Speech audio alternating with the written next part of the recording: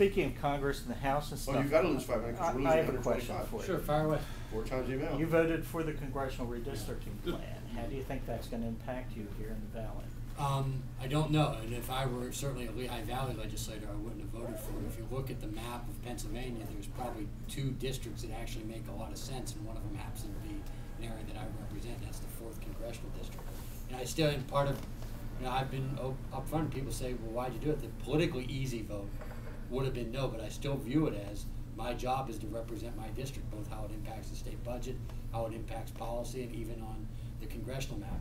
For starters, four years ago, I was the one that introduced the bill when we were in the majority to have an independent commission.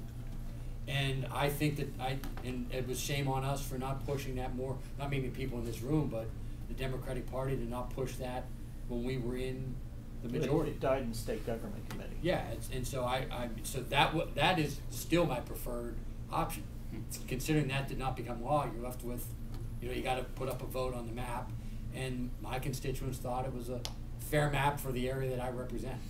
And it was the one area of the state that actually went from heavily Republican to what is now, you know, a much more competitive district. It's the one that was actually drafted the way the other one should be, and that's why I voted for it.